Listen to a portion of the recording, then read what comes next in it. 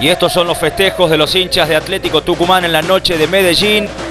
Muchos de ellos se dieron cita en el Parque Lleras, un lugar emblemático en esta ciudad colombiana para manifestar la alegría hasta altas horas de la madrugada. Ahí está, cientos de tucumanos entonces que acompañaron al decano, exteriorizaron su alegría por la clasificación en este histórico momento del Club Atlético Tucumán, cuarto finalista de la Libertadores. Y estas son imágenes en nuestra provincia, porque anoche no durmió prácticamente nadie. Los hinchas, la inimitable caravana de por medio acudieron a la Plaza Independencia también para festejar este histórico paso de los decanos en la Copa Libertadores de América.